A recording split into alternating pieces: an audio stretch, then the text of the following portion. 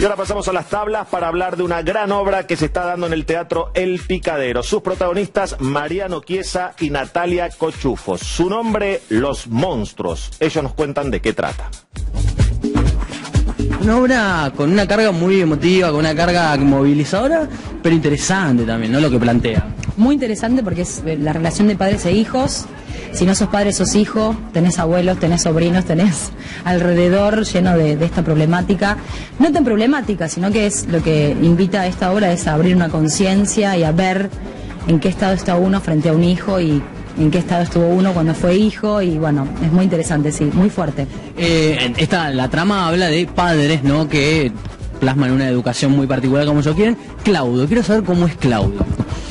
Claudio es un papá soltero, tiene unos cuarenta y tantos. eh, y bueno, él va haciendo un poco de madre y de padre al mismo tiempo.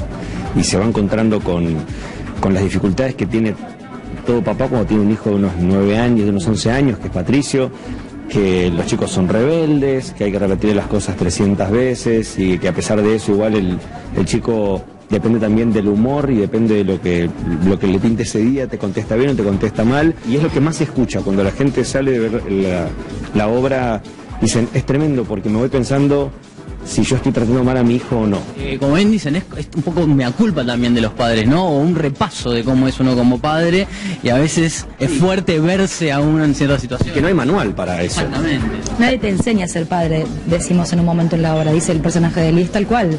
Pero es fascinante ver nuestros amigos o colegas o gente que viene, que son padres, que vienen, vienen el matrimonio, viene el padre solo, y quedan como que te miran, ¿viste? Como, como eso, como si les hubieras dado un repaso y una tarea para el hogar. Excelente obra desde el guion, la puesta y las brillantes actuaciones de Natalia y Mariano.